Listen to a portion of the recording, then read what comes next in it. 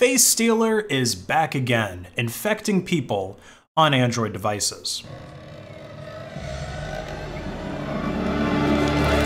No, not that Face Stealer. I'm talking about the Face Stealer Trojan that has been embedded in hundreds of fake apps over the months. It's existed for over 10 months now on the Google Play Store, and it has been installed more than 5 million times on so many different people's phones. The app gets its name from the fact that one of its primary purposes is to steal Facebook login credentials. So the way that this malware works is first, the distributors of the malware, they have to create some kind of an app. I mean, they don't really have to create an app, they just have to create something that looks like an app. Or maybe in some cases, if there's an open source app, they can just take the code from that and then embed the malware within it and then try to masquerade as this legitimate app. But as you'll see in a moment, the kind of apps that are getting Trojanized with this are the kind that people could very easily get tricked into installing because there's like hundreds of different versions of these types of apps. Now, in case you didn't know, the moderation or monitoring of the Google Play Store by, I guess, Google is pretty terrible. Google is like that single mom who just lets her kids do whatever they want and act a fool while she goes out to the club all night. That is the constant state of the Google Play Store, and it's not going to change anytime soon. Anyway, once you install the app and you open it, it will give you a prompt like this that tells you to sign into Facebook. But this is fake. It doesn't send your login credentials to Facebook, it sends it to the hackers, whose command and control servers tend to be located in Russia.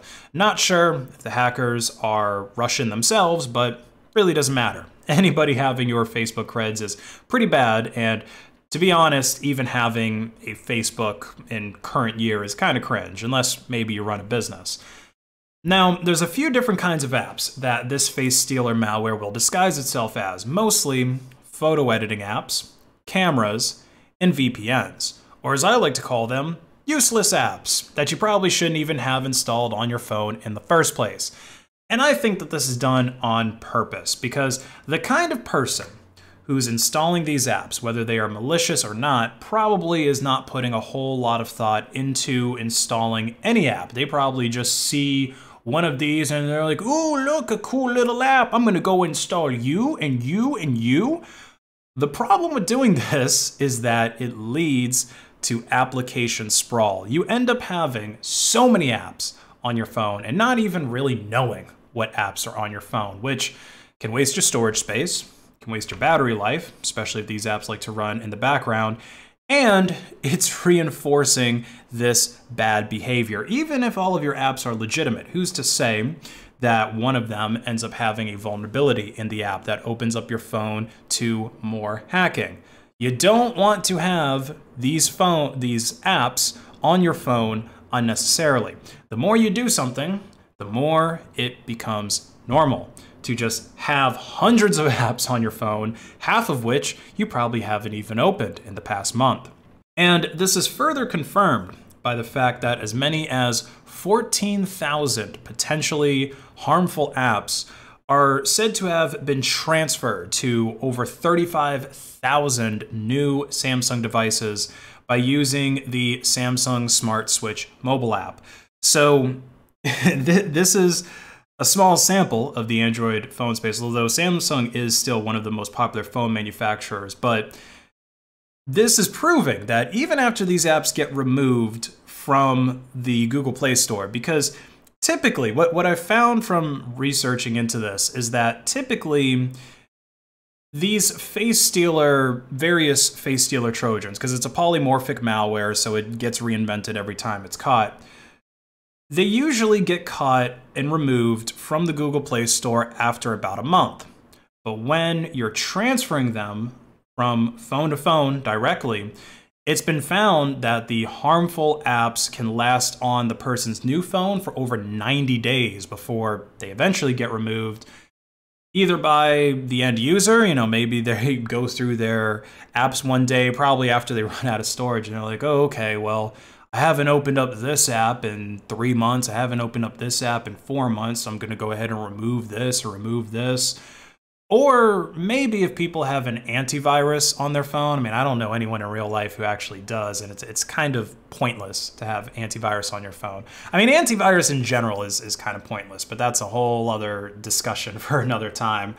Um, but if you have antivirus on your phone, then it might actually flag these apps, especially if they've already been removed from Google Play Store and it's a well-known malicious app, because then it's going to be in that antivirus database. And it's like, oh, you've got this weird photography app that's malware. Like, why is it on your phone? Here, I'm just going to go ahead and remove it for you.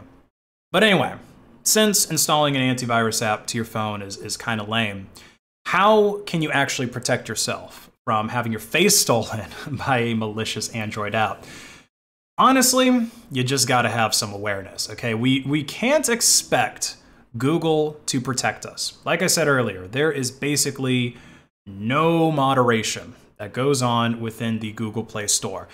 Honestly, the way that you should look at the Google Play Store if you're using an Android phone is like some low down, dirty convenience store, okay? I'm not saying that all bodegas are bad, but you know the ones I'm talking about where the same candy has been sitting on the shelves for five years. The drinks in the cooler are old enough to have driver's licenses. The bathroom hasn't been cleaned in years. You know, it's the kind of place that just exists for laundering drug money. And it's also the kind of place that when you go into it, you're very aware of what you're touching because everything seems dirty. If you've ever found yourself in these places, you probably checked your snacks to make sure that they weren't expired or that they didn't have bite marks from mice that are in that place. Uh, when you went to go and check out, you probably checked the credit card machine for skimmers, or better yet, you used cash because it makes the money laundering so much easier for the owner. So treat the Google Play Store the same way. You should read reviews of apps before installing and try to avoid installing so many apps in the first place. And then once you do that, once you stop just installing a bunch of random apps on your phone to, I guess, kill time or get a little dopamine hit, you might start to realize that, hey, I actually don't even need the Google Play Store for 99% of my apps because all of the essential apps that you might legitimately need, like pedometers or alarms, calendars, things like that, they all exist on F-Droid. And F-Droid is like QuikTrip, right? It's it's the top of the food chain as far as the convenience stores go. It's not like the shady money laundering place. You don't have to worry about your snacks or your soda being expired. You don't have to worry about the bathroom being dirty because it's not a shithole like the Google Play Store is. Now, maybe you aren't going to find hundreds of Cartoonify apps like you would in the Google Play Store because these are the kind of apps that malware likes to masquerade as. Uh, maybe you're not going to find 19 different camera apps, but I can't even understand why you would need that in the first place. I'm literally a content creator, and the only photo slash video apps that I use is Open Camera and occasionally the stock one that came with the phone. And I can't even begin to understand these Cartoonify apps. I'm honestly kind of surprised that they these apps are turning people into like a westernized style of cartoon because you know I thought all the kids these days wanted to be little anime girls but oh well that just shows you how, how little I understand about society. But anyway don't install stupid apps and stupid things won't happen to your phone. Like and comment the algorithm. Follow me on Odysee and have a great day